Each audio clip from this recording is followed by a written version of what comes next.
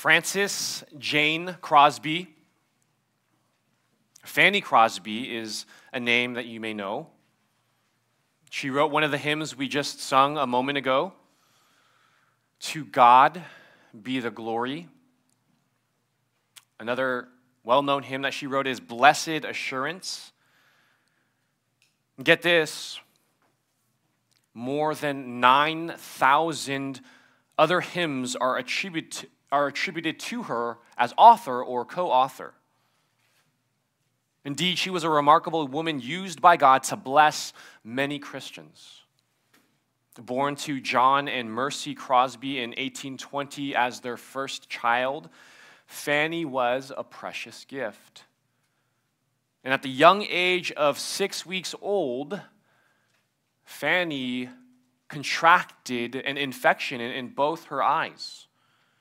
Her parents attempted to help her, this little child, through the council of doctors. And, sadly, unfortunately, it made it worse, and she ended up becoming blind for the rest of her life. Now, Fanny could have felt sorry for herself, but her mother taught her not to entertain self pity but to instead to pursue self-sufficiency. Crosby loved poetry and, and hymns, and the story goes she was actually converted to Christ by the hymn, and the story goes that she was converted to Christ by listening to Isaac Watts' Alas, and Did My Savior Bleed? And her blindness did not prevent her from living a full life unto the Lord. Now, at one point in her life, she encountered a well meaning minister who, who said to her, quote, I think it is a great pity that the master, when he showered so many gifts upon you, did not give you sight. And her reply, Do you know that if at birth I had been able to make one petition to my Creator, that it would have been that I should be born blind? And surprised, the, the minister asks, Why? Her answer, I think it's posted for you behind. Because when I get to heaven, the first face that shall ever gladden my sight will be that of my Savior. Because when I get to heaven, the first face that shall ever gladden my sight will be that of my Savior. Amazing words. Listen to the lyrics of another of her hymns titled My Savior First of All. When my life work is ended and I cross the swelling tide, when the bright and glorious morning I shall see, I shall know my Redeemer when I reach the other side, and his smile will be the first to welcome me. I shall know him. I shall know him, and redeemed by his side I shall stand. I shall know him, I shall know him by the print of the nails in his hand. Oh, the soul thrilling rapture when I view his blessed face and the luster of his kindly beaming eye. How my, how my full heart will praise him for the mercy, love, and grace that prepare for me in a mansion in the sky. Oh, the dear ones in glory, how they beckon me to come. And our parting at the river I recall. To the sweet vales of Eden they will sing my welcome home. But I long to meet my Savior first of all. And meet her Savior indeed she has done. She now sees him in full glory and splendor in the eternal state.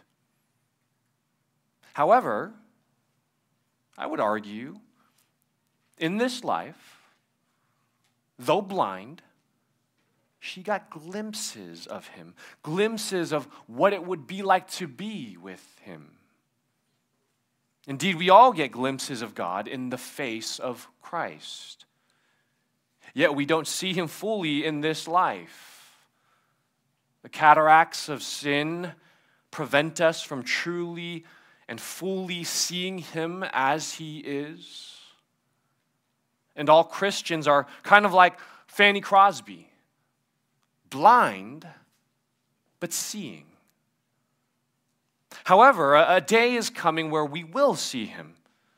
A day is fast approaching where God's people will see God in Christ as he truly is. No obstruction, no cataract of sin or ignorance blocking our vision. 1 John 3 2 promises Jesus' followers, Beloved, we are God's children now. And what we will be has not yet appeared, but we know that when he appears, we shall be like him because we shall see him as he is. Or, in the words of Paul, for now we see in a mirror dimly, but then face to face. Christians in past generations have called this moment the beatific vision. Beatific, as in B E A T I F I C, beatific, meaning the sight that makes happy. What wonder it will be when we see him as he is. And isn't it fitting for us who've been studying with regard to the Beatitudes? Blessed means happy or flourishing. Blessed or happy or flourishing are the ones who are poor in spirit, or those who mourn, or the meek, or those who hunger and thirst for righteousness, or blessed are the merciful, or blessed are the pure in heart, or blessed are the peacemakers, or blessed are those who are persecuted for righteousness' sake. Happy are those. And we get to this beatitude, the beatific vision, the, the sight that makes happy. And the heart longing of every human is to be in a state of eternal bliss. The scripture reveals that state of eternal bliss can only be found in the presence of our triune God, our creator, redeemer, savior, brother, friend, and counselor. It is when we are in the presence of him whom we were created for then and only then will we be truly satisfied. What that means is, while here on this earth, we will always be looking forward. We will always be longing. We will always be waiting for the moment we will see him, whom our soul finds eternal and lasting delight. Then, I guess the question is what enables a person to get to that point? What enables a person to see God? If it's right to say, and, and I think it is, that Fanny Crosby got significant glimpses of her Savior in this life, even though she was blind, what makes us able to, to say that she got those glimpses? What qualifies a person to see God? How can someone know he or she will eventually enter into the eternally joyful presence of God who indeed satisfies the human soul? Well, we turn to Jesus' famous sayings for the answer. If you have not done so already, I'd invite you to open up your copy of the scriptures to Matthew chapter 5. This morning we're in Beatitude 6 of 8. And these famous sayings have been the topic of our study for the past several weeks. They make up the first portion of Jesus' Sermon on the Mount. And both as a sage philosopher, but also as an authoritative preacher. By the way, Jesus was actually sitting when he preached this sermon. This philosopher preacher offers a pathway to the good life. And the culmination of the good life is actually to see God in all his glory. There's actually a tension in Scripture of, of seeing God. What does it mean to see God? What is to be in his perfect presence? to know Him unhindered, to experience the perfection of true happiness.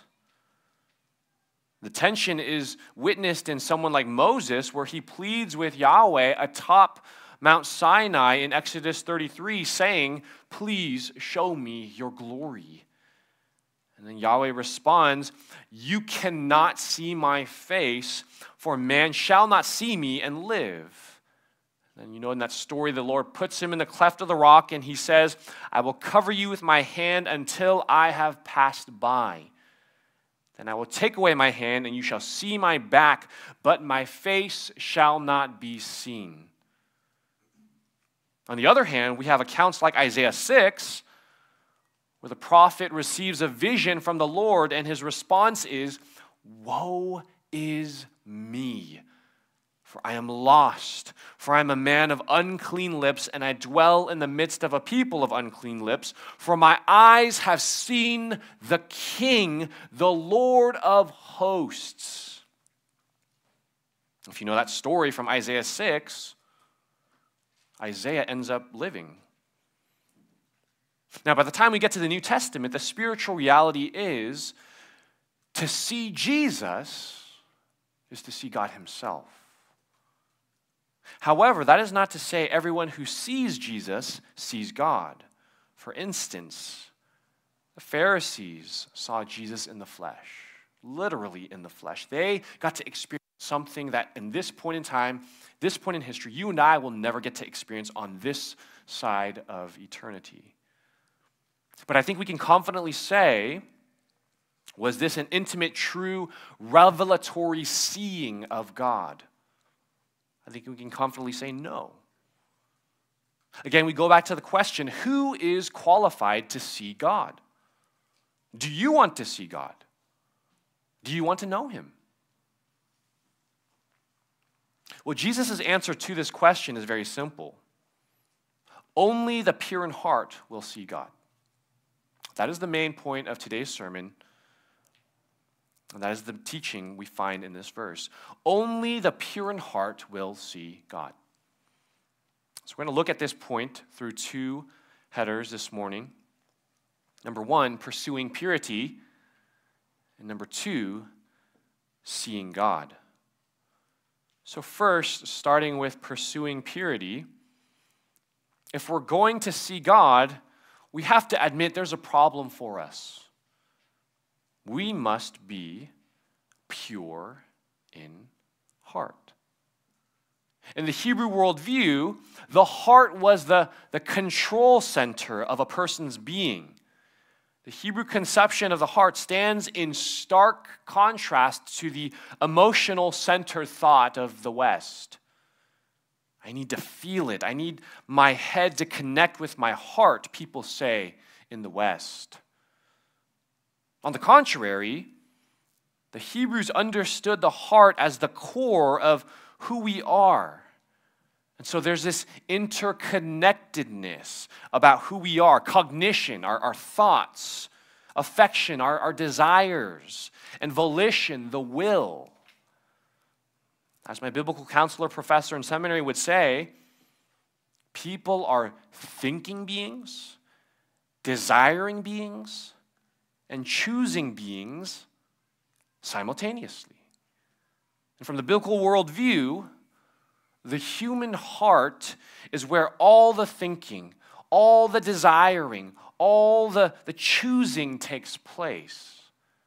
It's central to who we are as human beings created in the image of God. Now, again, the problem is the human heart has been corrupted by sin since Genesis 3. Really, who can say they are pure in heart? I'm guessing many of you are familiar with the words from Jeremiah 17, verse 9. The heart is deceitful above all things, it is desperately sick. Who can understand it? Again, the deceitful and desperately sick condition goes all the way back, all the way back to the fall. And throughout Scripture, in both Testaments, a call is issued to examine the heart. Psalm 139, verse 23 and 24, David says, Search me, O God, and know my heart. Try me and know my thoughts, and see if there be any grievous way in me, and lead me in the way everlasting. Later on in Matthew's gospel, Jesus will say, But what comes out of the mouth proceeds from the heart, and this defiles a person. For out of the heart come evil thoughts, murder, adultery, sexual immorality, theft, false witness, slander. You see, the natural heart abhors the things of God. And not only that, it takes things that are good and uses it for selfish means. For instance, the human heart will utilize an outward pursuit of virtue for inwardly evil and self centered gain. Of course, it has been well documented the Pharisees were professionals of duplicity, outward purity with inward filth. They performed acts outwardly to receive the praise of men. Jesus condemns them in Matthew 23, verses 25 and 26. He says, Woe to you, scribes and Pharisees, hypocrites! For you clean the outside of the cup and the plate, but inside they are full of greed and self indulgence. You blind Pharisee, first clean the inside of the cup and the plate, that the outside also may be clean.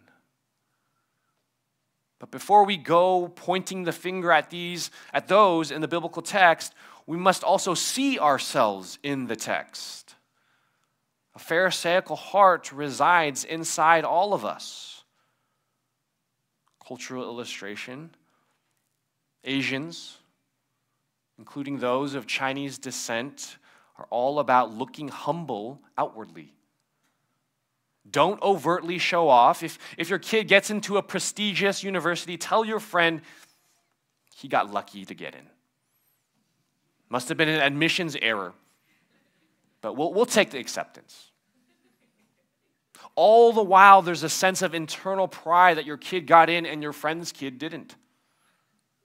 And to our core, we're self focused and we take pleasure in looking in the mirror to celebrate ourselves. Every human, to some degree, can relate to the, the Greek myth of Narcissus. Narcissus, a charming and handsome young man, he rejected the the interests of nymphs attracted to him because of his beauty. And as a result, a, a nymph prayed that the, the self infatuated narcissist would experience unreturned love. Nemesis, the Greek goddess of anger, hearing the prayer of the nymph, answered that prayer by implanting a permanent self love into Narcissus' heart. And then the following day, Narcissus looked into the pool of clear water and could not look away because of his self obsessed gaze. Eating, drinking, and all the other life tasks took a back seat to looking at himself. Eventually, he died because nothing else mattered to him. And on his way to Hades on the riverboat, the story goes the last thing he saw was his own reflection in the water. Of course, that's an extreme example. But there's a narcissist. There's a narcissist who lives in all of us. Seeing God is not on the heart of the natural man, so long as we can see ourselves. If anyone is going to see God in the eternal state, he or she needs a new heart. Now, those in the Old Testament living under the Old Covenant, they were looking forward to the fulfillment of God's promised gift of a new heart.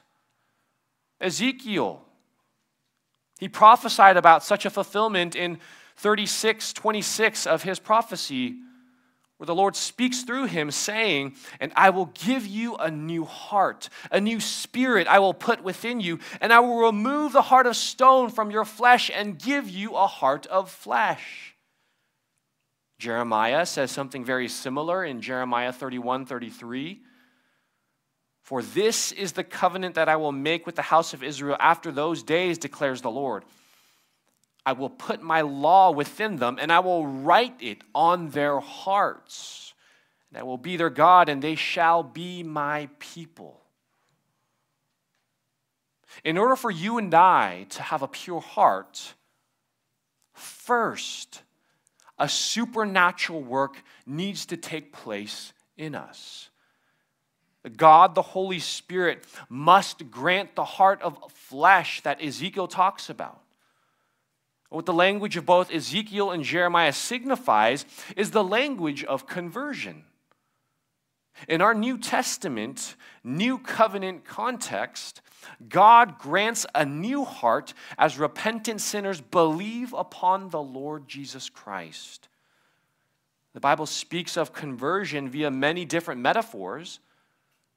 And the metaphor of receiving a new heart is one of the most relatable ones. Someone who has a stony heart has zero spiritual life. Conversely, someone who has the law written on his or her heart indeed has true spiritual life. The natural heart, the, the heart of stone Ezekiel speaks of, is incapable of pursuing purity. The beatitude of blessed are the pure in heart, this beatitude assumes a person has put their trust in the one who spoke these words, namely Jesus. Have you received a new heart? In the language of John, have you been born again? In gospel presentation terms, have you confessed your sin and impurity of heart to the Lord? Have you repented of your sins, turning away from the rotten fruit of a sinful heart? Have you trusted in the person and the work of Jesus Christ? That is, his perfect life lived according to God's moral standards, his sacrificial death on the cross to pay the penalty of your sins, his burial in the grave, and his glorious resurrection to conquer death and the penalty of sin. The only way you can receive a new heart is by repenting of your sin and trusting in the one who died for your sin and the one who was raised to conquer the sin in your life. Have you given your heart to Jesus? The only way anyone can be pure in heart is by giving their heart to Jesus. If you haven't, if you have not yet done so, today is the day Today is the day of salvation. Turn from your sin and, and trust in the one who is able to forgive you and purify your heart. Pursuing purity begins with having a new heart. Now, for my brothers and sisters who have already become believers through faith in Jesus, the crucified and resurrected Son of God, take a moment to reflect upon your own conversion. I've said this before and I'll say it again. Whether you've been a Christian for six months or 60 years, what was it like for you to hear God's call on your life? Be it through a sermon you heard, or a, a friend or a parent sharing the gospel with you, or you reading the Bible on your own. You may not even view your conversion as a particular moment, like a single dot in time, but rather as a general period of time. Whatever it is, recall that moment or period of time when the Lord opened your eyes to see Him. Meditate on it and, and give your heart opportunity to worship God. Every time someone is given a, a new heart, that is a miracle. Only God can replace a heart of stone with a beating heart of flesh. And fellow believer, you are a walking miracle. You are a walking miracle. Give glory to God for that. And worship with your whole heart. Worship His holy name. Furthermore, Worship Him by pursuing purity. Pursue purity functionally in your heart. When we trust in Christ, He indeed purifies us. And we are forgiven and, and cleansed and declared righteous, not on our own basis, but on the basis of Christ's righteousness applied to us. However, functionally, we still need purification. We need God to purify our desires. There's a couple of categories, purity related, that Jesus is talking about here in Matthew 5 8. Number one, purity of morality. We still pursue things that are filthy in this life.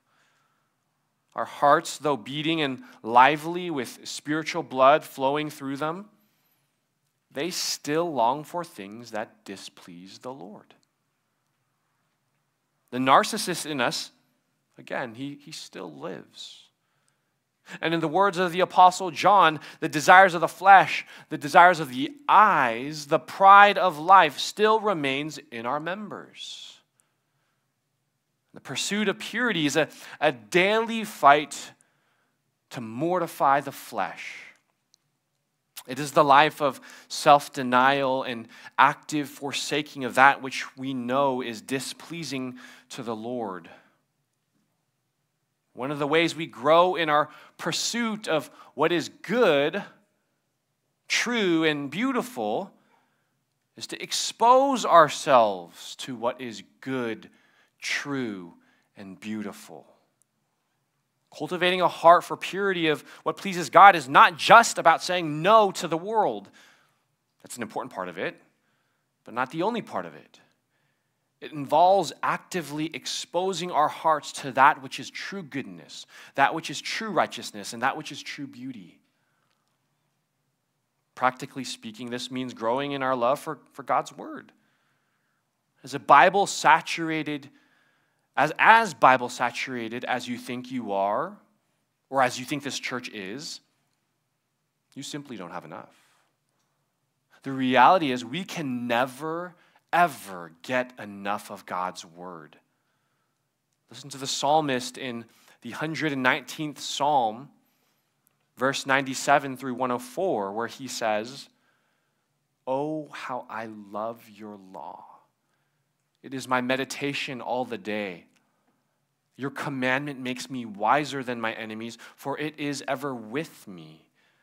I have more understanding than all my teachers, for your testimonies are my meditation. I understand more than the aged, for I keep your precepts. I hold back my feet from evil from, from every evil way in order to keep your word. I do not turn aside from your rules, for you have taught me. How sweet are your words to my taste, sweeter than honey to my mouth. Through your precepts I get understanding. Therefore, I hate every false way. Also, it involves a, prayer for understanding God's word. It might be repetitive for you, but it's not a meaningless prayer from my mouth every single Sunday, mainly a prayer of illumination. Open up our eyes that we may behold wonderful things from your law. Incline our hearts to your testimonies and, and not to dishonest gain. And establish your word to your servants as that which produces reverence for thee. You could probably say it by memory. All from various portions of Psalm 119. And the pursuit of purity is never separated from God's good revelation. Therefore, pursuing a purity of, of morality, number one, but also, number two, pursue a, a purity of motive. If we are capable of having mixed motives, and we are, we must ask the Spirit to refine our motives. I'll repeat what I quoted for you earlier Psalm 139, 24, and 25. Search me, O God, and know my heart.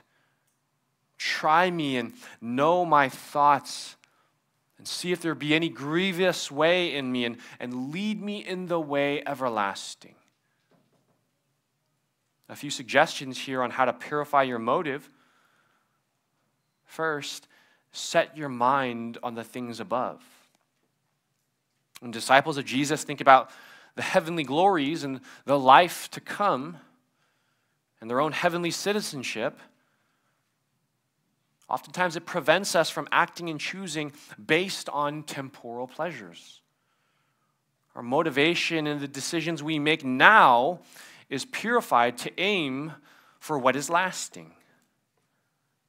Second, set your mind on the beauty that is around you in the here and now. Develop a lens to see how God is active and working in your life. Train your mind, discipline your mind to see His activity in the daily life. When you're more aware of His fingerprints in your day to day, it will motivate you to give thanks and also to want to join Him in whatever He's doing. Third and finally, actively think about the needs of others. Looking away from ourselves helps us to become less self centered in our intentions. And as obvious as that is, it's, it's really hard to do, isn't it? Regularly ask yourself how can I help this person out? What kind word or, or sometimes rebuking word can I, can I speak? How is this action going to benefit my neighbor? Pursuing purity indeed leads to the good life. And not only does it lead to the good life, it is the good life. Purity allows for God's people to see God. Now, it's here where we come to the second header of the sermon seeing God. Seeing God stands as the climactic experience for humans who were created in God's image. We have been wired at our core to seek out such an experience. Revelation 22 4, they, that is God's elect, will see his face. Seeing God is something we often think about in the future tense. Blessed are the pure in heart, for they shall see God. But as we've been talking about in this sermon on the Sermon on the Mount series, the kingdom of heaven has made its inroads into the present world and into our present experience. Indeed, we get glimpses of God's face. We get glimpses of God's face in the here and now. Seeing God in the face of Christ enables us to experience in part what will one day be in full. Be reminded of various descriptions of Jesus found in the pages of the New Testament rapid fire, I'll read them off for you. They're posted behind me. Hebrews 1 3. He that is Jesus is the radiance of the glory of God and the exact imprint of his nature. Colossians 1:15. He, again this is Jesus, is the image of the invisible God. Colossians 1:19. In him all the fullness of God was pleased to dwell. Colossians 2:9. For in him the whole fullness of deity dwells bodily. Therefore, to know Jesus and to walk intimately with him, following him, and observing all that he has commanded, that is to see God in the present life. An increasing view of God will be magnifying in the heart of the Christ follower who takes his call seriously to follow him. Later on in Jesus' sermon, he teaches on light and darkness. If you want, you can actually just flip a chapter forward to Matthew chapter 6. And in that section, he, he, expo- he, he explains the importance of laying treasures in heaven and on earth. And then in verses 22 and 23, he says this The eye is the lamp of the body. So if your eye is healthy, your whole body will be full of light. But if your eye is bad, your whole body will be full of darkness. If then the light in you is darkness, how great is the darkness? Now, typically, we understand the eye to be an organ that takes in, don't we? It's you see a vision and it, you, you take that vision in and you internalize that, that vision. It absorbs and it receives light, that is the eye. You have to be careful what enters your eye. And, and all of that's true. But biblically speaking, in ancient times, the eyes were the organ to function as the reverse. The eye was viewed similarly to the sun, radiating light from within. And to see the eye was to see what was inside of someone, to see their makeup and to see their character. And if the heart is pure, then the eyes will be pure. If the heart is dark, darkness will emanate from someone's eyes. That's where the terminology of evil eye comes from. Also, the reverse is true. Whatever you set your eyes on, both material and immaterial now, those things will inevitably influence your heart. The more and more we set our eyes on Jesus and his values, the more and more we will see him and look like him. The more and more we set our hearts on the things of the world, the more and more our hearts will be turned away from him. Therefore, brothers and sisters, gaze upon him so that your eye can, be, can both see him and radiate him. Now, the here and now that we experience in this world serves as preview and preparation for seeing him on that future day. Purity of heart that we're given in Christ and, and that we also continue to develop, it helps us to see the Lord now. The Christian is able to see God in things like creation. How often have you gone to the edge of a cliff before an ocean? Or stood over the Grand Canyon?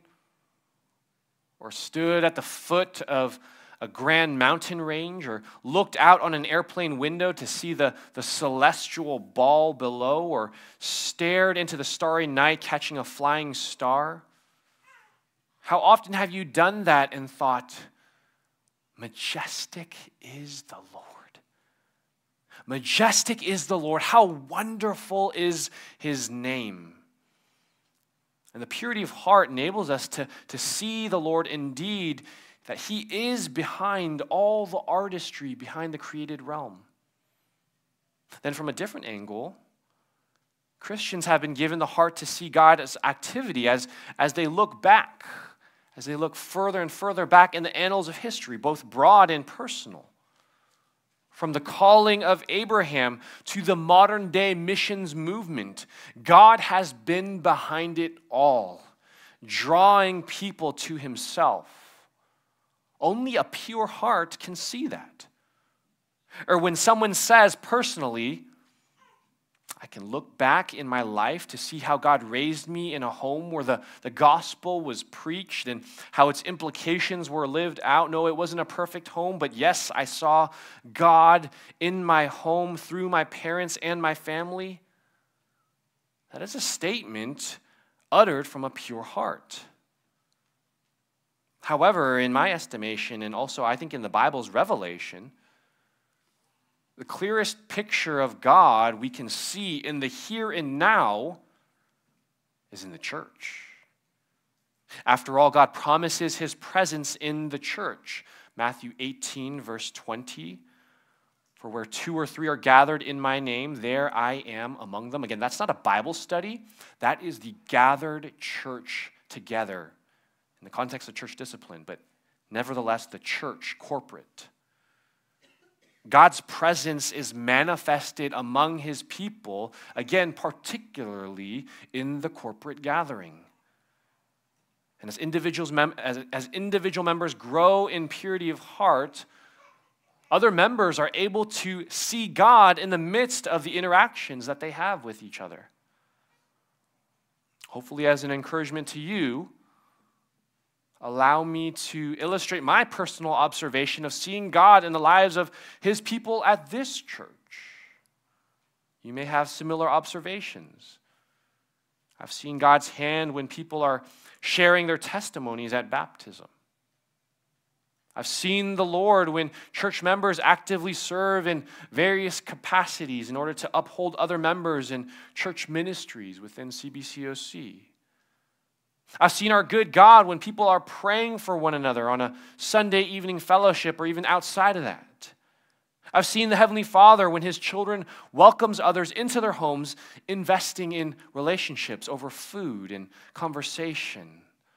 I've seen Jesus over an extended period of time when individuals have exhibited greater spiritual maturity from one degree to the next through the years. I've seen God as people have sought counsel regarding a, a, specific course of action, knowing for me personally, they genuinely want to honor the Lord.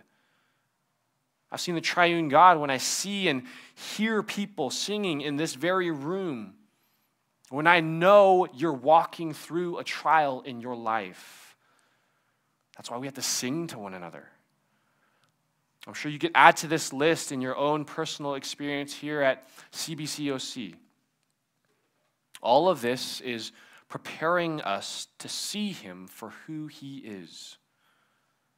We're all inhabiting we're all walking down a training ground, a space intended to prepare us for when we will see and experience His glorious presence in full. Are you excited to enter into glory? What do you think it's going to be like when the beatific vision come, becomes reality for you?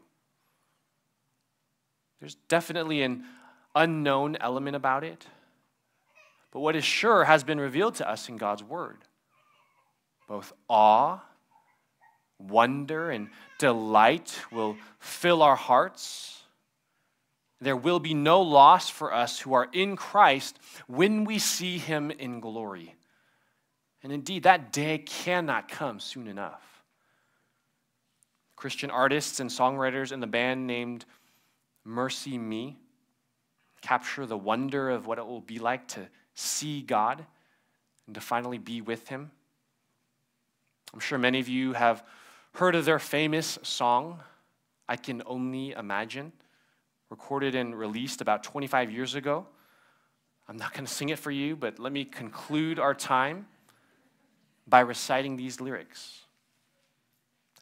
I can only imagine what it will be like when I walk by your side. I can only imagine what my eyes would see when your face is before me. I can only imagine, yeah. Surrounded by your glory, what will my heart feel? Will I dance for you, Jesus, or in awe of you be still? Will I stand in your presence, or to my knees will I fall? Will I sing hallelujah? Will I be able to speak at all? I can only imagine. I can only imagine. I can only imagine when that day comes and I find myself standing in the sun. I can only imagine when all I will do is forever, forever worship you. I can only imagine, yeah, I can only imagine. Brothers and sisters, can you imagine. Let's pray.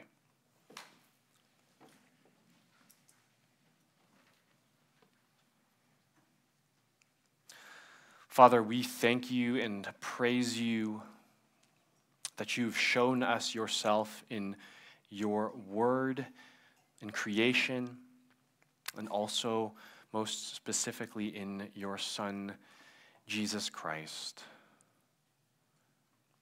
Father, I pray that for those who do not have a heart of flesh, that you would grant that gift to them, that you would replace their heart of stone with a heart of flesh, and that they would be able to see God. And Father, for those who have already professed faith in the Lord Jesus Christ, I pray that you would grow us in purity of heart, in morality and motive, and that you would be preparing us to, to see God in the here and now. And that you would be escalating us to that point where we will one day indeed see God. Prepare us for that day, O Lord. We can only imagine what it will be like. Lord, continue to bless your church and also enable us to worship you joyfully by giving. I pray, Father, that you would bless the offering that's given from your people, that it would be an act of obedience, it would be an act of worship, it would be an act of joy to give unto you for the work of the ministry here at CBCOC. Father, thank you for your people. Thank you for your word. Thank you for Christ. It's in his name we pray. Amen.